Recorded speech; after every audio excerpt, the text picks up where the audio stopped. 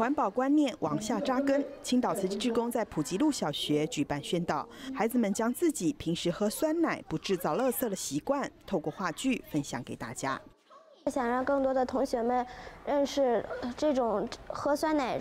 可以用很环保的方法喝酸奶，这样可以呃少用吸管，可以减少对呃那个污染。把它里面的剩余残奶呃酸奶喝掉，然后呢这个洗出来，它就是一种可以回收的资源。只要我们往垃圾桶里投的一瞬间都有垃圾，但是我们不把它往垃圾桶里投，而且我们拿出来再利用一下。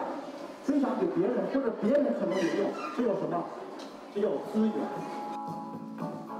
诚如志工所言，垃圾与可回收的资源往往决定在一念间，因此孩子也发挥创意，做了一场环保时装秀。因为这些东西本来是要被扔掉的，但是现在被我们用来做服装，是呃利呃有它的最大的利用价值了。地球的资源只有那么些。